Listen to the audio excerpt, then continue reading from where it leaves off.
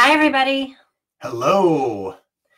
Brandon Yager, Deb Yager here, Yager Training, where we help business owners, coaches, and entrepreneurs transform self to transform others. Today, we have our fifth episode of Six Figure Networking Secrets, where we Brandon and I actually created six figures in less than 10 months through networking and, of course, our secrets of NLP. And we want to share it with you. So, episode number five getting over social anxiety. I love this one because I used to struggle deeply of social anxiety. Yeah, it's, a, it's actually a huge thing. A lot of people don't realize it. So, there's a guy I met um, at one of our networking events that involved some social drinking, mm. right? Yeah. And uh, he had to chug back too because he's like, gosh, I can't even stand this environment.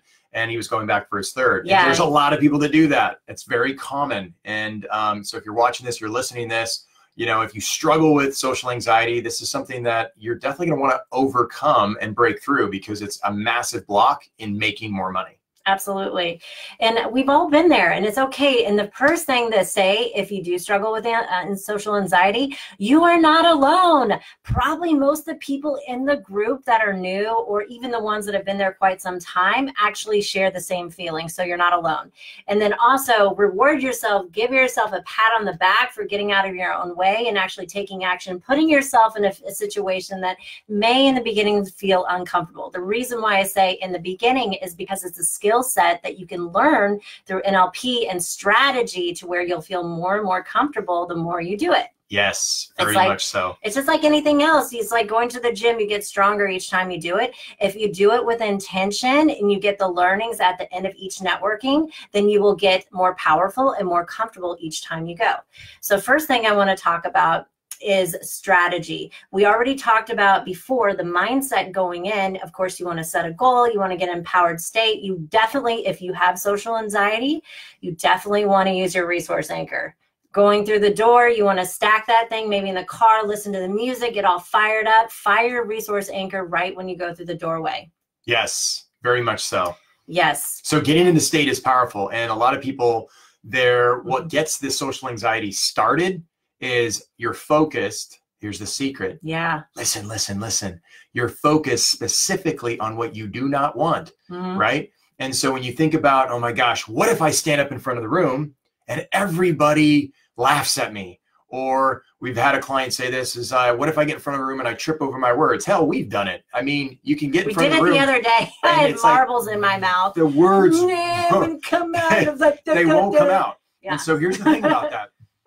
It's it all right. You trip over your words, you recover. It's the people that don't recover that they just it sends them down to this spiraling downward where they're um, it really makes them struggle to get back onto to track on where they were focused. Yeah, totally. So it's important to focus specifically on what you want, which means when you set leave, a goal before you go. Of course, and when you leave the networking event, that everybody had an amazing um, experience when you were up in front of the of the group. We're going right? to talk about that on the later episodes about talking. He loves to skip. It's okay. I love. My husband has a brilliant mind, and he's he's a, a, double Libra, so he's like all over the place at the quantum level, and I'm I'm very linear. I'm not sure. I'm not sure if that was a compliment. I, it's wonderful because we have the perfect break between the two of us. yes. So strategies of walking in the room. So sometimes, um, fine then. Yes, I'm taking over. I'm taking, I'm taking over. Uh, so strategies, because we're going to talk about pitching. Of course. Just the whole I'm segment sorry. on pitching. Um, so strategies of walking in the room. A lot of times it's at a restaurant, or maybe it's at a bar, or maybe it's an event. So if you feel like the anxiety is happening, of course, fire your resource anchor, or even excuse yourself to go to the bathroom. Sometimes um, in the beginning, when I was doing lots of networking, I would go to the bathroom and I would do a breathing exercise and just kind of get myself together, pump myself up. I would fire my resource anchor again before I would go out in the crowd. Now, when you first get to the networking group, depending upon if you get there late, there's going to be a ton of people. But if you get there earlier, I feel like it's a little bit more comfortable because you can kind of ease yourself in. Usually, the leader of the group is there and they're available, which is a, perfect opportunity for you to spark up a conversation. Now, I know that most people, not all people, but most people that struggle with social anxiety, and I'm talking about my own personal history and other people that I've worked with, a lot of times they don't want to bother anybody and they don't feel good enough or um, able or like the person wants to hear what they have to say for the leader. Um, I always or when you come into the group, yeah, you're, you're that person that always kind of sits in the back. yeah. just don't kinda look at me. stays out all of the, the introverts are like, don't look at me. Don't pick me. Don't pick me. Yeah. I always Hey, say Leah. go straight Hey, up to grow straight up to the person that is hey Leah, hey Viva, Vivo and um uh Nikki. Nikki. it's good to see you. Go straight up to the person that's running the event and introduce yourself. Usually they're very friendly and they they want to talk to you and they're very excited to see new faces. So it's a great opportunity to start building that long-lasting rapport with the leader and it breaks the shell.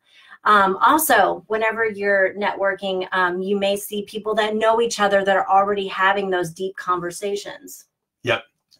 So I always advise just going up and standing next to them and then say, Do you mind if I, you know, join you in this conversation? I know that It- it's only uncomfortable once. Yes. Right. It's only a little bit uncomfortable when you first break into the group and say, "How's it going? Yeah. How's everyone doing?" Look, that's why you're there, right? You're at the networking event to put yourself out of the comfort zone, meet new people, and start to figure out who's a good fit for your business and see if someone can help you with a resource for your business. Yeah, absolutely. And you know, if some people are saying, "Hey, like you know, we're having a really uh, intimate conversation," then just step away and just know that it's not personal.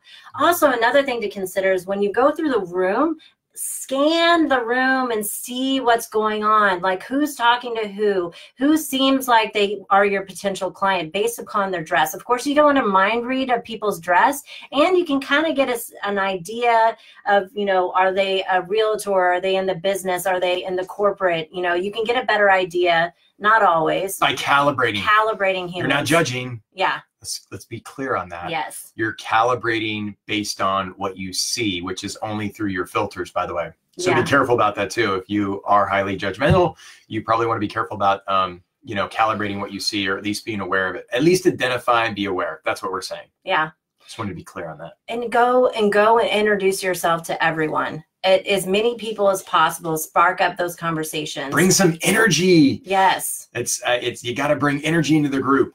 You got to bring a lot of energy to the group, and that's one thing that we've been successful at. Is you know sometimes there's events and groups we've been to. It's like let's let's spice this energy up. I feel like this room is flat, and I think it's good to bring energy into a group. So charisma goes a long way. absolutely i love what david says at my age i don't wait to join in and it's it's true it's It's we're true. all there to network and meet people. If people if the two people that are having conversation or three people are having the conversation that is something that they don't want you to interrupt they'll kindly and politely say hey we're having a really um, intimate conversation. Would you mind if you came back in a little bit? And you just go to somebody else. Who cares? And let all that stuff go. Something I like to do is if I'm talking to one or two people, I like to introduce the guy Yeah. that's wandering or the gal that looks like bring she, them in. she just came bring in. them in. Welcome them to the group. Say hey my name's so and so why don't you meet blah blah blah and blah blah blah like introduce them. I think that's something that um you know if again it's calibration it's also external awareness.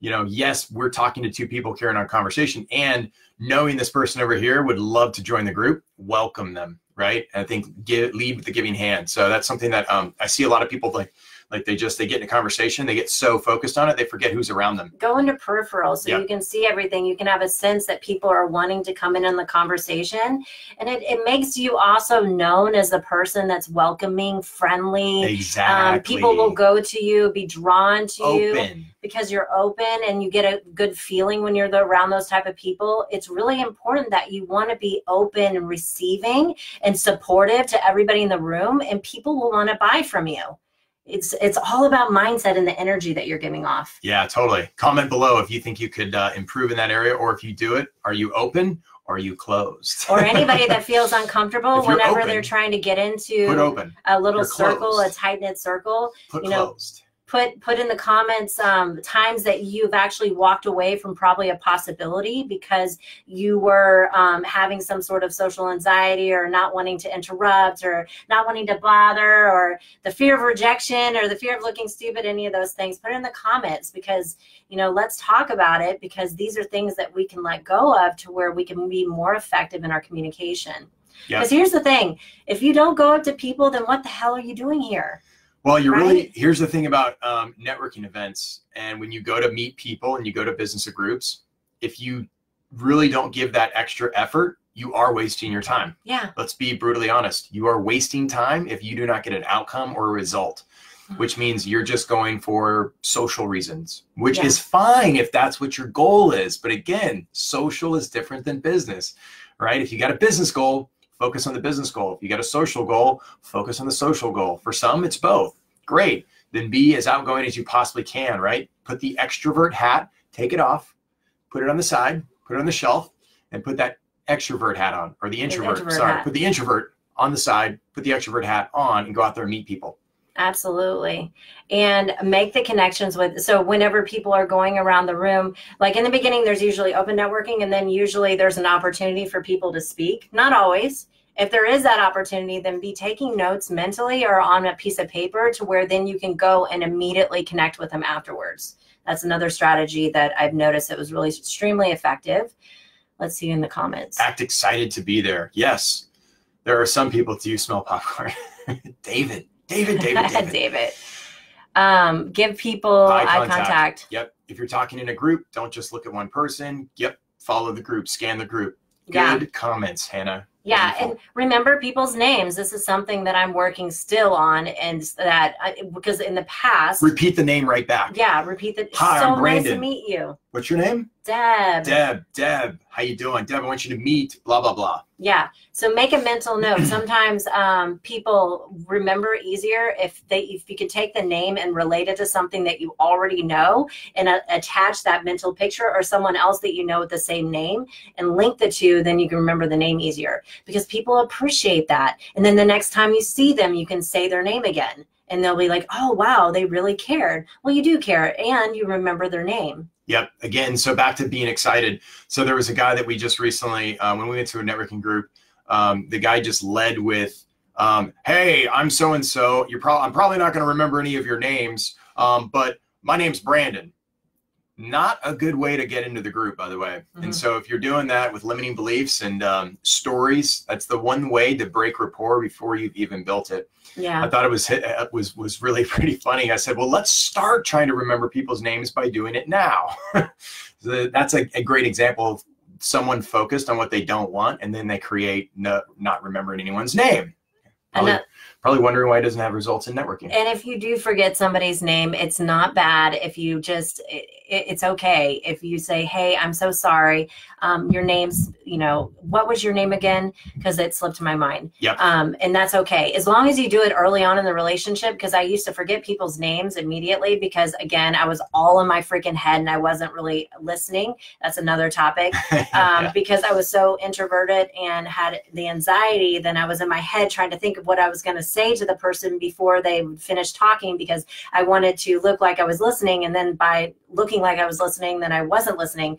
So get out of your head. Get out of your head. Be present with the person. Be present in the group. Listen to what they're having to say. And when you're present, uh, Hannah made a good uh, a good comment of not complaining about networking or why you're networking or oh I have to be here because yeah. I don't have a job and I got to find a job.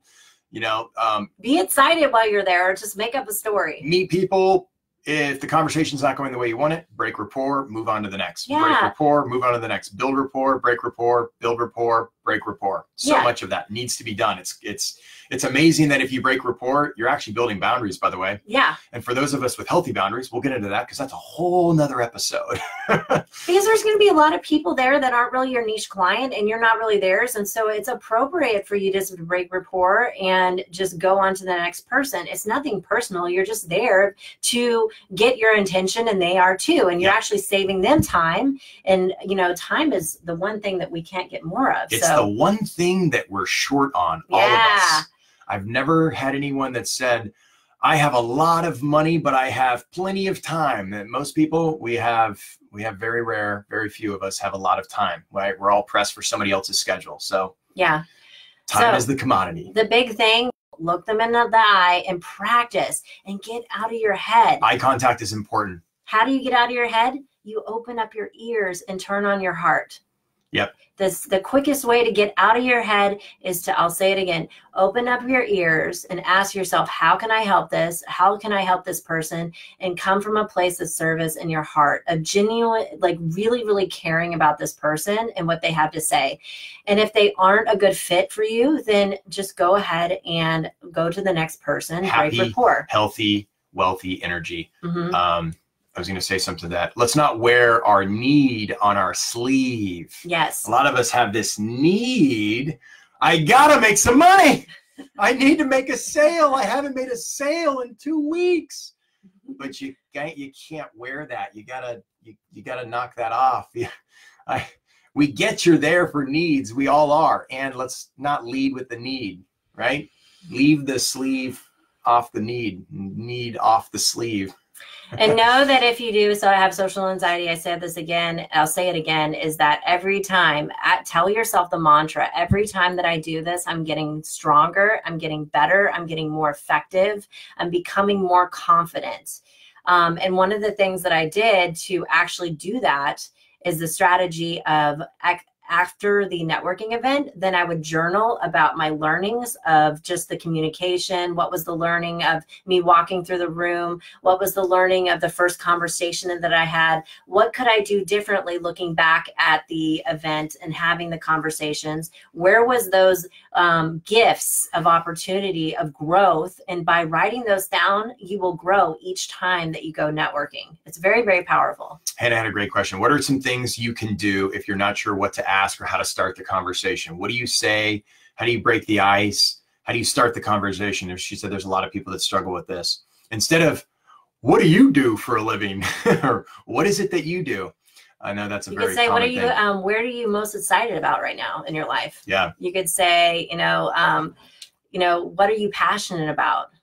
you know have conversations as if you were having a conversation with a, a friend or somebody that you're going to become a really close friend with big picture but below the weather yeah right? like what's your favorite part about austin or what's yeah. your favorite thing to do in austin yeah. You know, how long have you been in Austin? So many people start with the business, like build rapport and then work into the business. Yeah. yeah. Cool. And so next episode, we're going to talk more about strategies of how can um, to connect with the leader, and then what to say when you actually are in these conversations to be able to start doing what we already taught in the later um, the five step sales process, selling to serve. How you start that process once you start building rapport. So one way, um, when you're focused on social anxiety and you get it and you're surprised, that's that's we've got to check our focus. But the one thing we like to do when we're networking is become totally aware. Mm-hmm. Awareness can we cannot stress enough. A lot of people may say, well, these are really easy, basic, common sense things when we're networking. But here's the thing we forget when we're in the moment. There's so many people that are aware of this now on this call or on this video chat. And when they get out their network, they get so focused in their head, like Deb said, they get in their head and then they start focusing on the sales or the need or, oh God, I, I got to get something done or I got to meet some people. And they get over anxious, which creates anxiety. And um, and then it looks like that desperate energy that's coming out, right? It feels like they've got commission breath um, or all these other things. And so to really what we like to do is when we go into peripheral, like we want to maintain this awareness, this state. I like to think when I walk in the room, I'm like, how can I be the most self-aware person? And like, am I self-aware of everything that could possibly be going on with myself? Not to the point where I'm in my own head and mm-hmm. judging myself, but be aware of everything going on, right? Notice when someone's over there talking to, you know, by themselves. Notice when there's a large group growing and you want to introduce some people to other people. Like really be aware. I, I can't stress that enough. I think social anxiety comes down to foveal thinking and just focus on, oh my gosh, um, look what I'm about to do, or what look what I'm not doing correctly. We we want to reverse that thinking into awareness, which is expansion not focused on one negative thing. It's focused on all things and just calibrating, right? We're just aware of external behavior. Yeah, and make it a game. Um, the best, one of the best advice I can give you is treat this as like you are in a video game and you are the avatar. And every single time that you um, you know have a conversation that you're literally taking that feedback from the conversation how you communicated you know how did that person respond you know were you able to if you play it if you play it as a game like going to networking events and seeing like if this pitch landed or this um, type of five step sales process and how you were building rapport with this person how that came out and how did you get the feedback and the result for it if you play it as a game and um, not game. personal uh, just a human being experience science and an experiment where you're going out there and making mistakes, and there really is no mistake because no everything mistakes. everything is right. And by the way, it's fun to kind of mess up. You know, when you go through that experience of, let's say, you broke rapport, great, you learn what you learn what not to say, yeah. right? Big deal. If the person holds it personally against you, then that you're actually triggering something inside of them that they can grow and evolve as a human being. So know that there's nothing wrong that you could ever say. There's nothing wrong that you could ever do. Leah said, let's make it a game. Exactly. Make it a game. Exactly, Leah. Yeah. If you go in the mindset of having it be a game and every time you get this amazing feedback, incorporate the feedback, you're going to get stronger and stronger. Thank you, Sean. We love y'all too. Does our heart well to give you these sessions and keep your motor running. Yeah. So keep watching and tuning in. We appreciate so that. We will be talking about some fun topics on Friday building rapport, how to get in rapport with the leader, and what to ask um, to then plant the seed for your ask, and um, how to start having those really powerful conversations to then later take them into the five step sales process. Absolutely. So thank you all for joining us. Um, share this with a friend if you feel like it's useful. Also, uh, please subscribe to our YouTube channel. It's a Yager Training YouTube channel. That's where you can find all of our videos in one place. Um, we're really wanting to build up our following. We have an amazing event around the corner. Yes. It's coming up. It's we the three-day business training, left. applying NLP to business. We love this training because we feel like we can give the most value in a short period of time for someone that is struggling with sales – struggling with their focus. Maybe they're frustrated with the kind of clients they're attracting, and their bank account is crying. okay, if your bank account's crying, it's a great training, and it, it it's a massive amount of value. Twelve hundred ninety-five dollar training. We are doing a heck of an offer. It's normally three ninety-five for early bird special. It's $195 this week, this week only. And I'm offering a guarantee that if you're willing to follow and take all the learnings and all the wisdom that we offer in that training, following the five step sales model, you will make more money. You will make sales. If you, on average, are not making very many sales on a monthly basis, I can guarantee you'll make five sales coming out of that training within 30 days. And I can guarantee that, or I'll give you your money back if you followed our process. I can assure you. And if you still aren't satisfied with that offer, I'll give you $100 right? I'll give you a $100 back after I've already refunded your money. That's how confident I am in this training. And that's how confident we are to help people who really want to seek personal growth and development and become a better salesperson. So, besides becoming a better salesperson, you'll be a better networker. So, take us up on that offer if you're interested. YagerTraining.com. Check out the three day business page. Thank you. Thanks. See ya.